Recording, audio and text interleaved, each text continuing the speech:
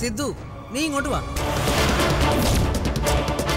മോനെ ആത്മാഭിമാനമുള്ള ഒരു പുരുഷന് സഹിക്കാൻ പറ്റാത്ത തെറ്റാ സിദ്ധു ചെയ്തത്?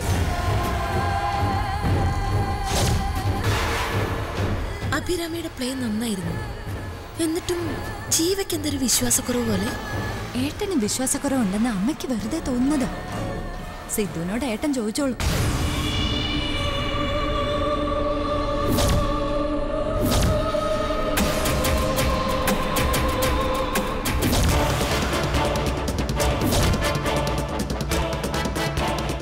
കണ്ണേട്ടനോട് ഞാൻ തൊട്ടുതരാൻ പറയുന്നത് കള്ളക്കുറിയല്ല. എന്റെ മംഗല്യ സിന്ദൂരം.